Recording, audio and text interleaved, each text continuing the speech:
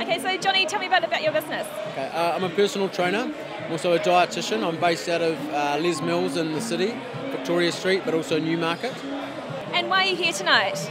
Um, exciting uh, meeting of fantastic minds, uh, expats, people that have travelled, seen the world, um, coming back to New Zealand, settling. That's something that I did just over a year ago. So uh, yeah, it's good to do a little bit of networking.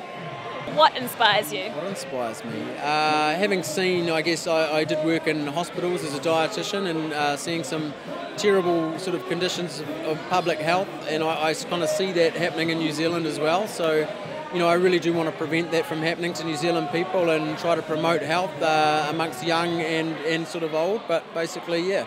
I want uh, to improve the health and well-being of New Zealand peoples. And what does an event like this do for you and your business?